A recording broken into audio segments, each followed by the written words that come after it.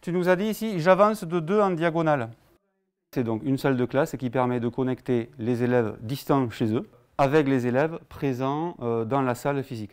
J'utilise les outils mis en place par le conseil départemental dans les murs du collège, un tableau de base et un vidéoprojecteur interactif grâce auquel euh, je peux écrire sur euh, les copies, sur les travaux des élèves distants. En présentiel, on a aujourd'hui 13 élèves. À distance, j'ai au moins 8 élèves qui sont raccrochés depuis le domicile. Le concept, c'est de pouvoir recréer euh, en virtuel ce que l'on fait habituellement en réel. C'est une euh, plateforme de collaboration qui permet, comme si on était les uns à côté des autres, autour d'une table, de déposer des documents, de se voir, de parler, d'échanger. Donc là, elle, a levé la main, elle a peut-être une question pour savoir ce qu'il faut faire. Donc moi, je, sélectionne l'élève. Elle voulait euh, le, support de cours, le support de l'exercice. Elle en fait un clone image.